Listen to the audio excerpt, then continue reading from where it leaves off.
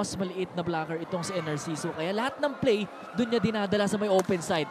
That's right. At lahat ng puntos ay dun gaaling sa may open side. But Combination play for Kobe Tabuga. kung hindi ako makablock, gagawa na lang ako ng magagandang play. Ang ganda ng set doon ni Narciso. Patong play para kay Kobe.